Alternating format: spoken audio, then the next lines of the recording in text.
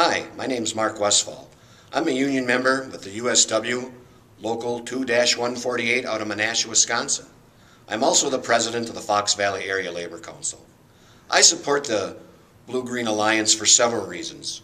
Clean and renewable energy is our future. It's the future for making jobs, making good union jobs, and it's also the future for cleaning up our environment and giving us a world that we can pass on to our children and grandchildren. That's why I think the work of the Blue Green Alliance is so important. I hope you do as well. Thank you.